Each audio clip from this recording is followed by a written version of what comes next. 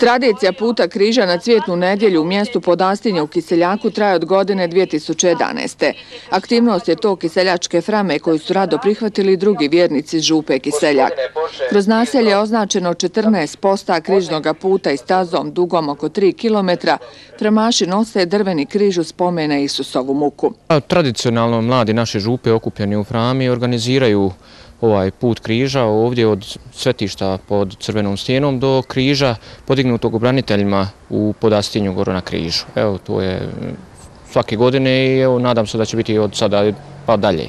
Cvjetnica je posljednja nedjelja u Korizmi, nedjelja prije Uskrsa i s njom započinje veliki tjedan. To su oni najsvetiji dani u našoj katoličkoj vjeri. Znači, kada stavimo one tajne naše vjere koje su najvažnije u našoj vjeri od, od ustanove svete mise, svećeničkog reda do, do Isusove smrti, a na kraju evo i završimo sa Isusovim uskrsnućem. Prezoran kaže kako je zadovoljan i korizmenom akcijom Pomozimo bližnjem, koju je pokrenuo Franjevački svjetovni red u Kiseljaku.